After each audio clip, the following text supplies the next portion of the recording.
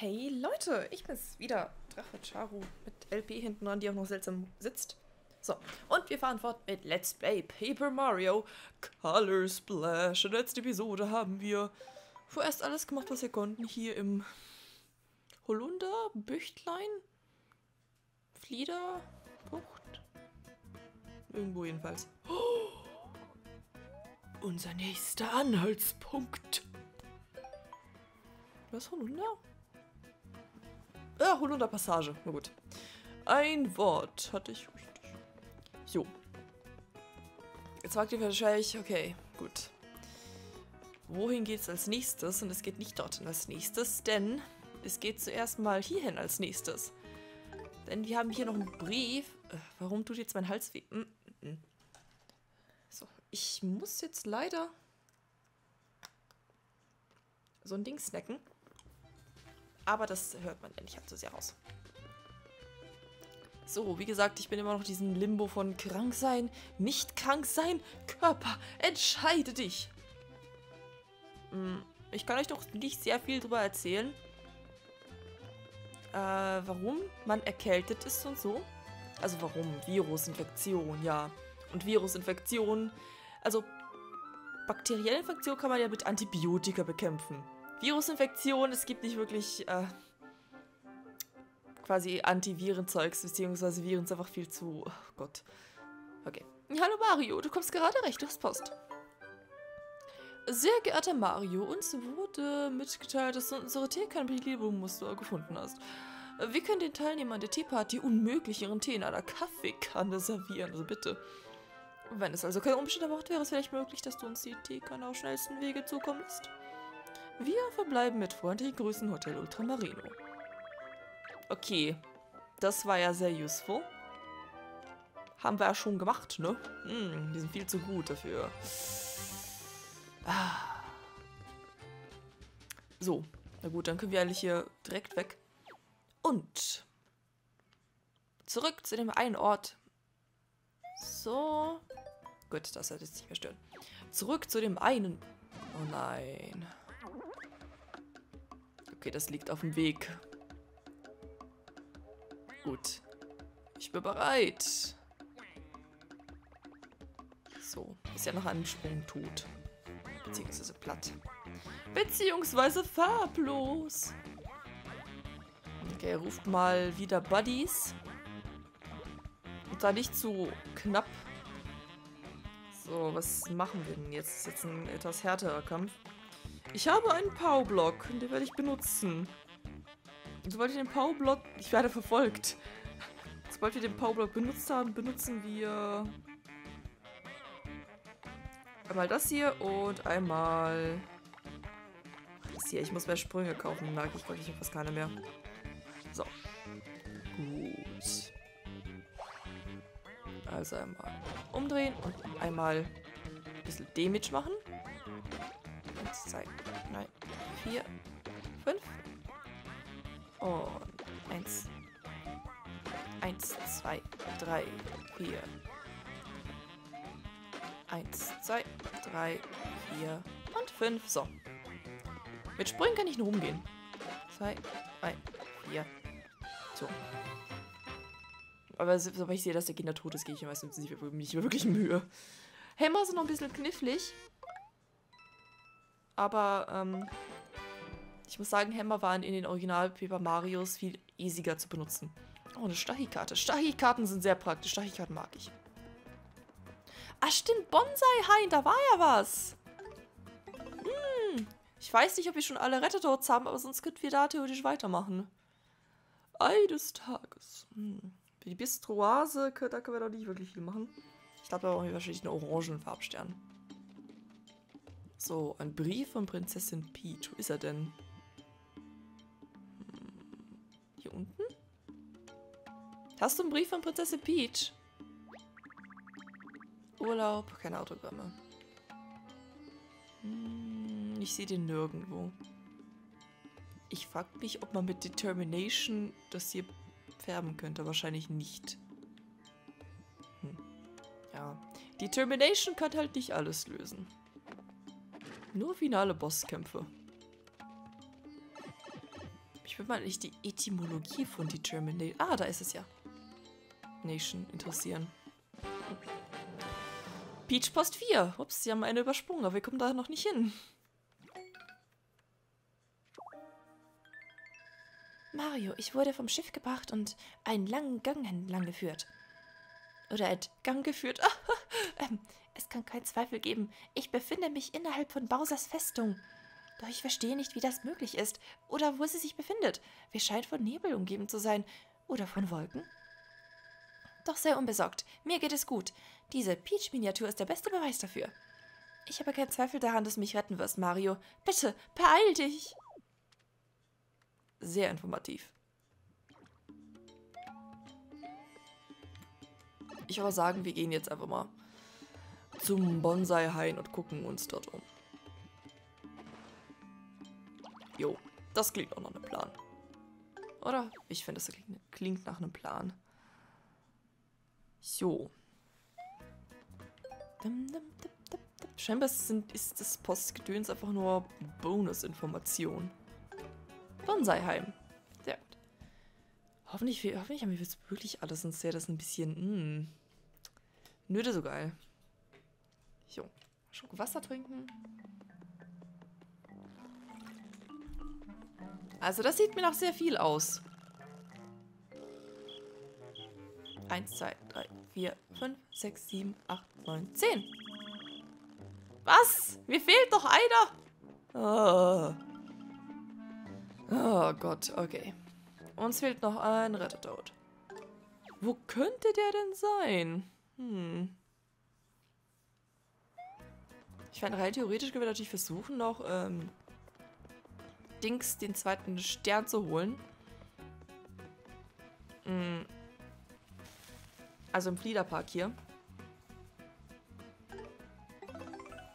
Oder ähm, im Stachy-Tempel. Da gibt es auch noch mehrere Sterne. Zwei sogar. Ich weiß jetzt einfach nicht direkt, wo der Stern im Fliederpark sein könnte. Ah, hier ist es richtig hübsch, jetzt wo alles wieder grün ist. Mhm. Hm. Wir brauchen halt... Klarer Fall, kein Trinkwasser. Kann ich ja nicht da... Ach, nee. Ich kann nicht einfach so rüber. So, wir können noch ein paar Farblosflecken einfärben. Oh, oh, oh. Hm, das ist das kompaktes sein. Hm. Vielleicht gibt es noch einen anderen Weg, aber... Nö. Nö. Stabil. Das ist alles viel zu stabil.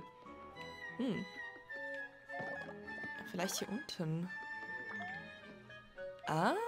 Hahaha. Hallöchen, Sternchen. Das ging flott. Bam, bam. Wisst ihr, was ich mir eigentlich angewöhnt habe in letzter Zeit? Ihr seht, ihr könnt es ja nicht sehen, ihr seht mich ja nicht. Ähm, Fingerguns und die, so eine seltsame Detektivpose, wo man irgendwie so das so mit ähm, Zeigefinger und äh, Daumen irgendwie so eine Oh, das ist einfach nur ein extra Weg, okay. Aber so quasi L macht und einfach irgendwie so das Kinn da hineinploppt. So eine richtige Detektivpose, so. Ha. Shinichi oder Kokoro Mori-like. Irgendwie sowas. Hm. Nein. Was ist das denn jetzt? Da unten. Oh Gott. Okay. Da könnten wir theoretisch noch irgendwas holen, ne? Nicht im Kolosseum natürlich, sondern hier. Im Terrakotta-Tempel.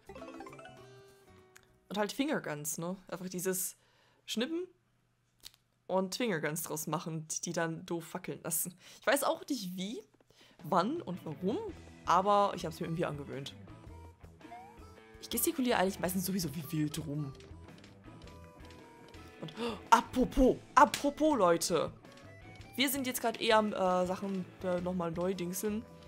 Ich habe jemanden getroffen, der Spellforce kennt. Ja, Spellforce.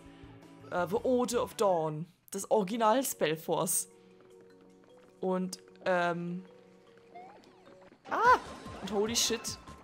Spellforce ist, ist mein Kindheitsspiel. Und ja, es ist mal wieder die eine voll süße Lady. Und ich denke mir so, holy fuck. Ich, ja, ich bin, ich bin heute ein bisschen... Ne? Ihr wisst ja damals, also Leute, die das Xenoblade Let's Play verfolgen, damals hat doch einmal irgendwie gemeint, dass, ähm, wie etwas, dass äh, Cross etwas Hundehaftes an sich hat. Und ich habe auch etwas Hundehaftes an mir.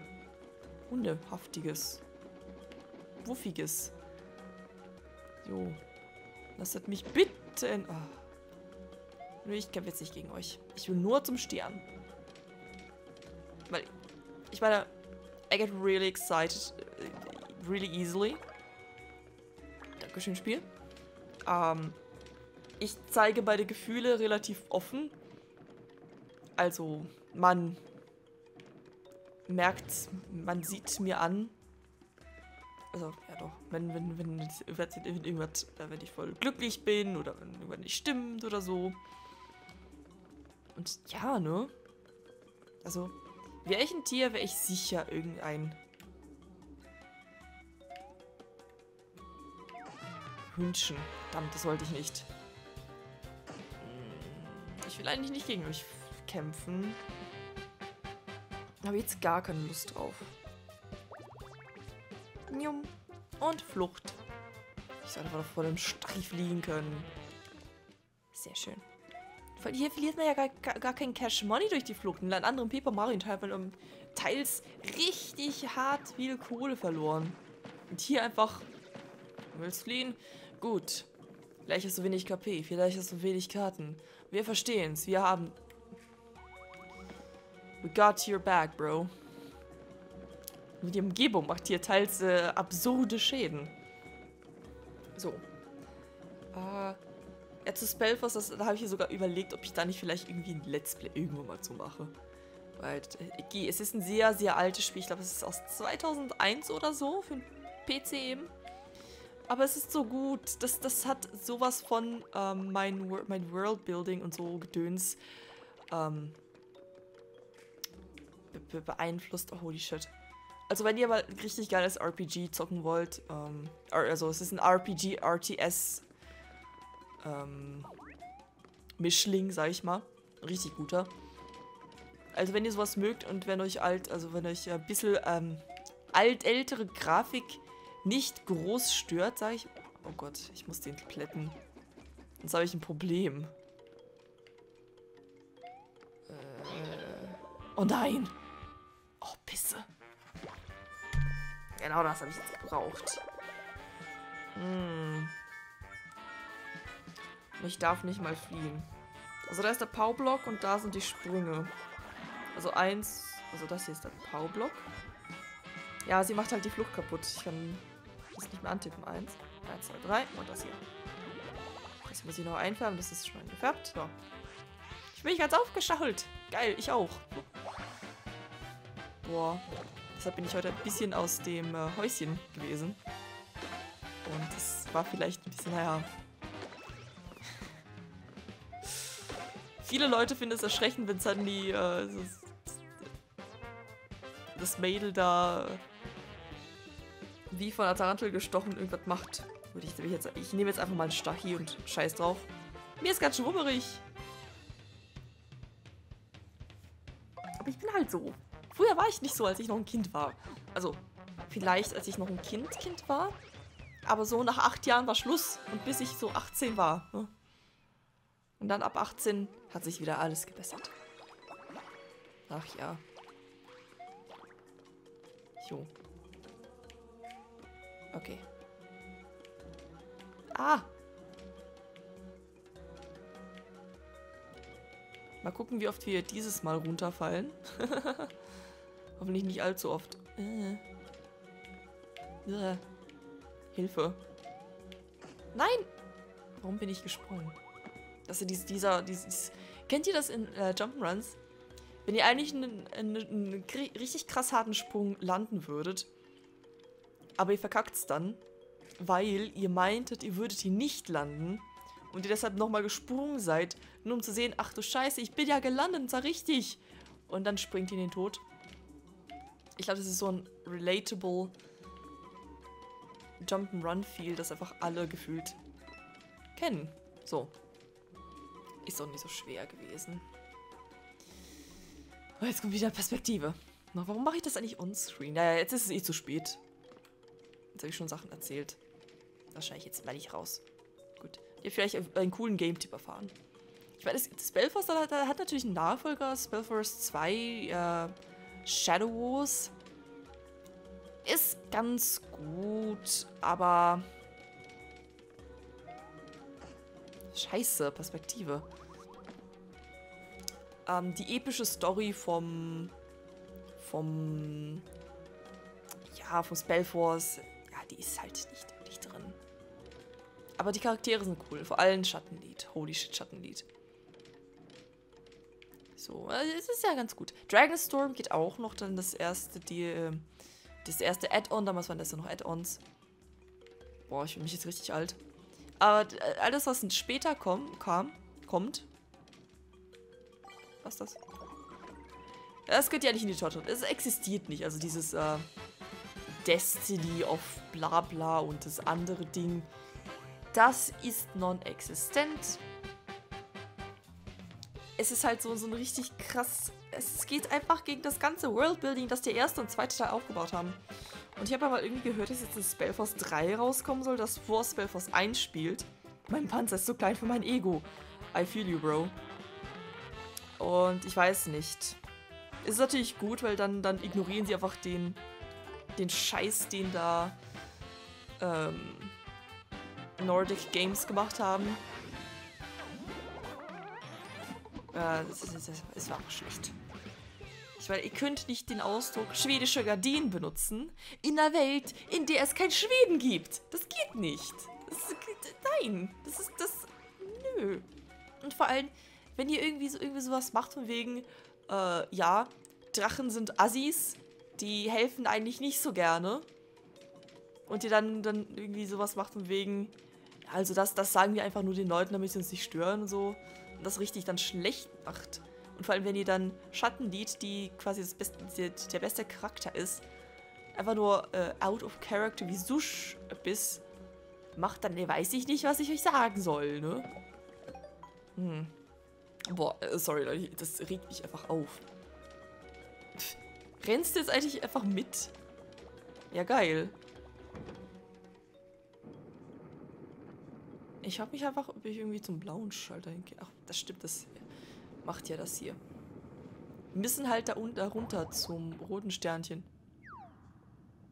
Au. Jo, Rip in Piss, ne? Beziehungsweise Rip in Lava. Uah, nein, nein, nein, nein, nein. Scheiße. Okay. So, einfach nicht allzu gestresst äh, vor den Backkartoffeln hier Angst haben. Es ist alles noch relativ locker flockig. Plus oder Minus. Ich hoffe einfach noch nicht, dass wir den Riesenstach hier am Ende wieder bekämpfen müssen. Das fände ich jetzt ein bisschen uncool. Weil wir haben ja den Eimer besiegt, ne? Er muss ja auch nicht... Das soll knapp unbedingt sein. So. Vielleicht nicht zum Item. Ah! Gott. Und ich bin doch ganz schön auf die Seite dann. Ja, genau. Und dann wieder ganz schnell hier hin. Oder habe ich es geschafft?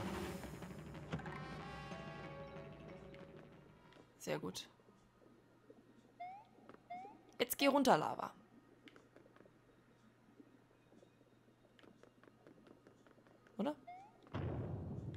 Ah, stimmt, ich muss auf den Schalter treten. So. Na komm. Sehr gut. Hoffentlich öffnet uns das jetzt irgendwie einen anderen Weg. Weil sonst weiß ich auch nicht. Nicht einfach nur einen anderen Weg zu einem gleichen Gebiet, sondern halt echt einen neuen Weg. Zu einem neuen Gebiet. Aber wir kennen das Spiel ja. Das denkt sich manchmal, oh, ich bin so cool. Ah, sehr gut. Neues Gebiet, Leute, neues Gebiet. Oh, das sieht sehr vulkanisch aus und rot. Das gefällt mir. Ja. Ist irgendwas rot, gefällt es der Charo wahrscheinlich. Aber das kriegt wenigstens Pluspunkte. Vulkan Sienna. Mm. Sienna Rot ist echt. Boah. Das von Faber-Castell, von dem Polychromo Sienna Rot. Mm, mm, mm. Ah, okay, ein Vulkangebiet. Das wird lustig. So, das ist wahrscheinlich Peach Nummer 3. Upsi. Naja. Mario, mir scheint, dass diese Luftgaleere sehr bald an ihren Zielort ankommt. Doch wenn ich mich umsehe, ist dort nur ein endloses Wolkenmeer. Wir müssen uns un unermesslich hoch über den Boden befinden. Oh, was geschieht nun? Fliegt das Schiff etwa in etwas hinein? Doch wir befinden uns mitten in der Luft. Wo sind wir hier nur? Okay. Oh. Das voll süß, die Mario das aufnimmt. Sprichst du mich an? Bist du nett? Für Vulkanverhältnisse ist hier in meiner Ecke richtig schön kühl. Das ist der einzige Zufluchtsort vor der Gluthitze und er gehört mir. Oh oh. Hm. Sieht sehr heiß aus. Mir ist es so heiß, es fliegt der, der, der, der Deckel von der Dose. Muss wohl dran liegen, dass wir geradewegs in einen Vulkan reinmarschiert sind. Wo wir gerade über Offensichtliches reden, fall mir bitte nicht in die Lava, okay? Wow. Das muss doch extra hervorgehoben werden, fall nicht in die Lava, ne?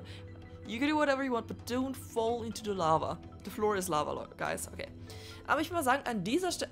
Oh, oh, ist das eine Idle Animation? Wo, wo Mario was schwitzt? Na komm, mach's nochmal. Wie super ist das denn? Also Leute, ich danke euch vielmals fürs Zugucken und beim nächsten Mal machen wir den Vulkan unsicher. Bis dahin, haltet die Ohren steif. Ciao.